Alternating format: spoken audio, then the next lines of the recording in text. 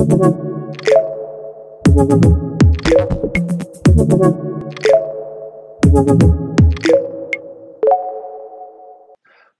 and thank you for joining my session today.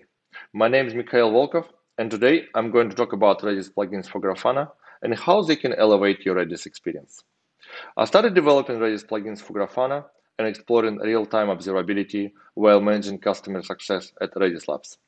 Based on the positive feedback from Redis enterprise customers and Redis community, we continue developing Redis plugins and introducing new commands and custom panels.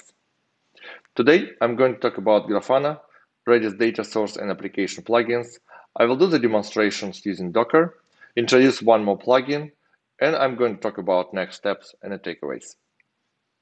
Can you observe and interact with Redis data on the same screen using a tool which is secured and already adopted by Redis community and Redis Labs customers? And this is the questions I'm going to answer today in my presentation. Let's talk about Grafana. Grafana is the world's most popular observability tool. In May 2020, Grafana Labs released version 7, introducing new backend plugin platform.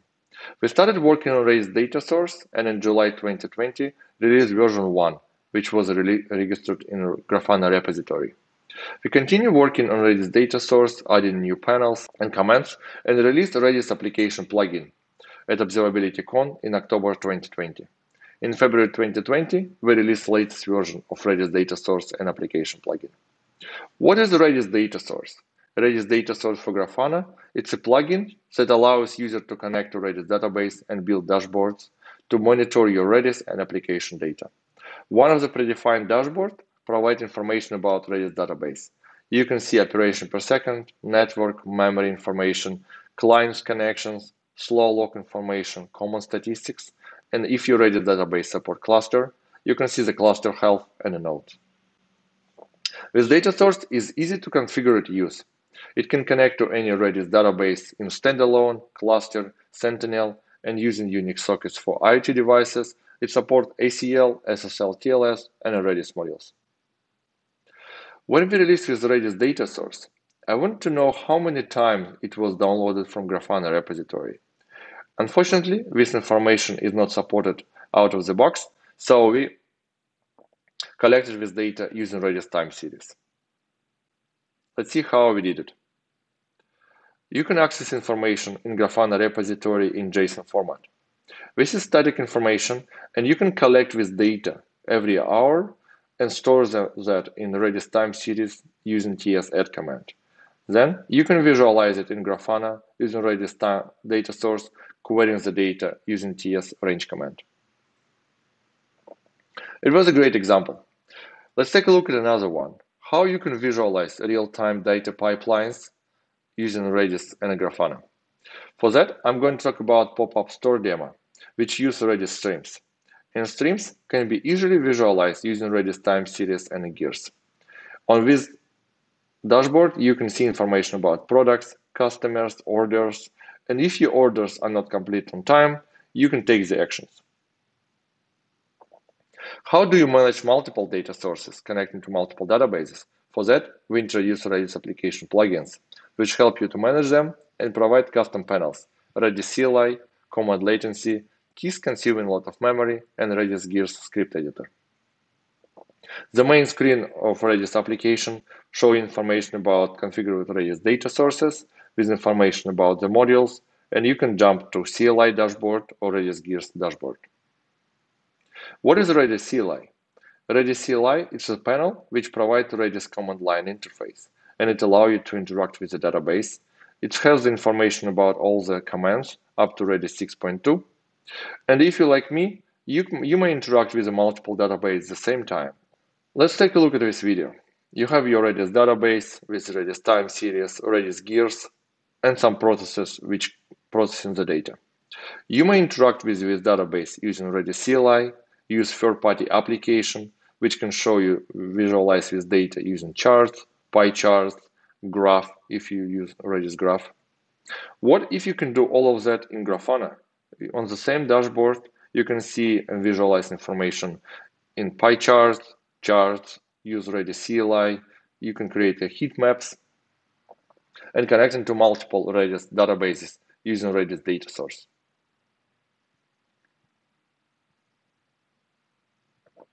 Let's take a look at another panels. Command latency and keys consuming a lot of memory. Redis is served a lot, a large number of queries per second and latency is very important. How you can see the latency on your database? For that, you can use third-party applications, Redis Enterprise with Prometheus integration, or you can run info command.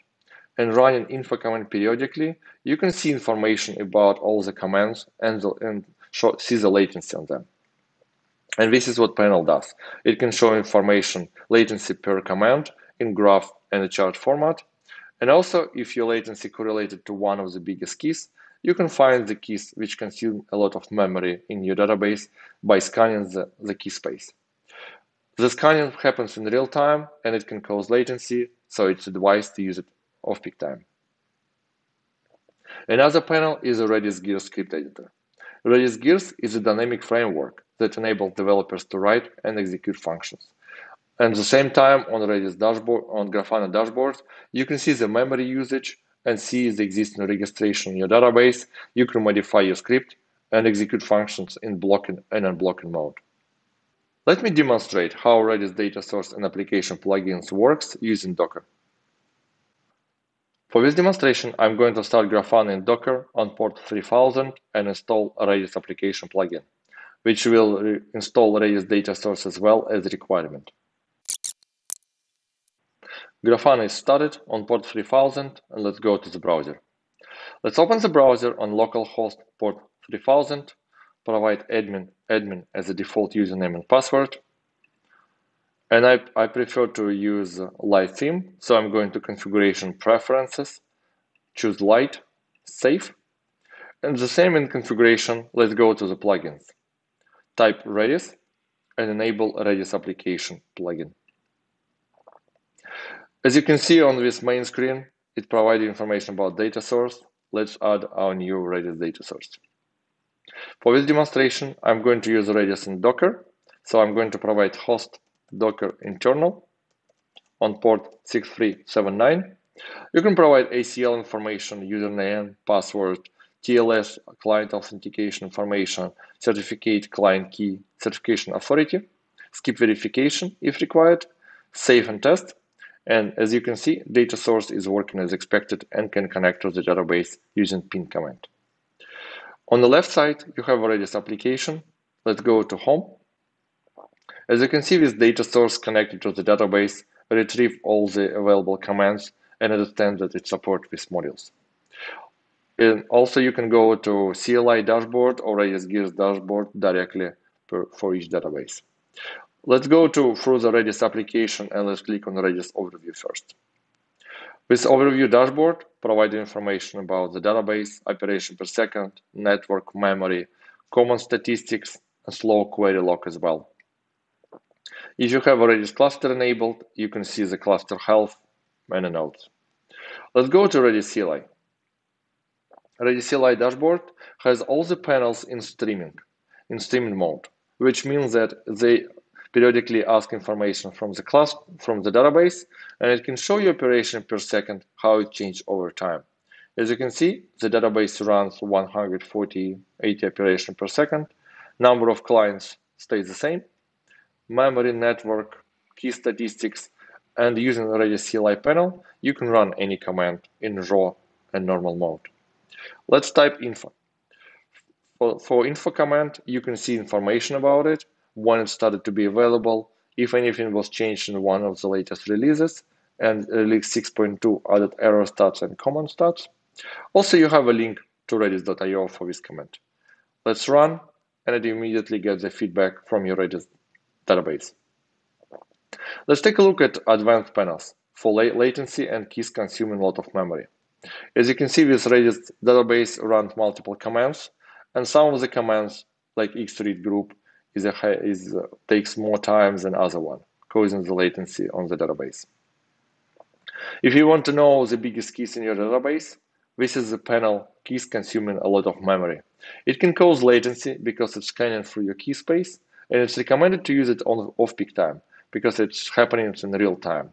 You can provide top keys, how many keys you want to retrieve. It will count 100 keys at a time, scanning them, match pattern, and click Start Scanning. It started to scan through your key space. If it's a big key space, it will take many, many interaction, interactions. As you can see, key queue complete, which is already streams, takes most of the memory in my database. There is some time series and string data as well. Let's take a look at the Redis gears. Redis gears dashboard provides information about Redis gears, its memory usage, all the existing registration in the database with a number of triggered successes and failures as well. And you can run any script using this Python function panel. You can provide requirements, blocking and blocking mode. I will do GB run for Redis gears, run script, and it will return all the keys in the database, types, values. And this was Redis gears dashboard. Let's create our own dashboard. And you can choose the Redis data source as well, working with multiple databases. Let's create our own dashboard. Click plus, dashboard, add new panel. You can choose different visualization, standard, graph, time series, table, or there is a four new panels, Redis CLI, Redis gears, max memory keys, and Redis latency. For this demonstration, I'm going to choose table. For data source, I'm choosing Redis.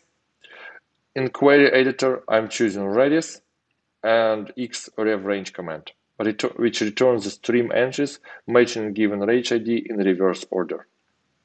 For key, I'm going to use queue complete. It has start and default information. It, you can provide how many count you want to retrieve, click run, and this is the 10 entries from Redis streams with the stream ID, orders, and a customer data in your stream. And this is how you work with the Redis application and Redis data source. It was an impressive demonstration. I want to talk about one more plugin today. Redis Enterprise Software provides REST API to retrieve information about cluster, databases, nodes, and metrics. Redis Explorer plugin is the latest plugin in Redis Grafana family, which adds support for Redis Enterprise software. On this dashboard, you can see the license information, average latency on the cluster, number of requests, CPU memory information, and all the registered modules. To see information about database and nodes, there are additional dashboards, and you can create your own dashboard for your clusters. What is our next steps? Add alerting to notify users of Redis and application data changes, supporting new features and commands in Redis 7, Redis JSON and Redis AI modules, and also enhancing data sources for Redis Enterprise software and cloud. To learn more about the project, you can go to GitHub organization page at GitHub. Project documentation is available at Redis Grafana github.io. Redis data source and application plugins are registered in Grafana repository and can be easily installed in Redis, in Grafana, Grafana Enterprise, and Grafana Cloud. I want you to take home from this session that Redis data source and application plugins are registered in Grafana repository. They can use to observe and interact with Redis database and application data, and they're open source and driven by community. I want to end this session with a quote from Torkel, co-founder of Grafana Labs. This data source is pretty sweet. Thank you for joining my session. I hope you learned a lot about Redis data source and application plugin. Enjoy RedisConf and let me know if you have any questions using email or on GitHub project page. Thank you and bye.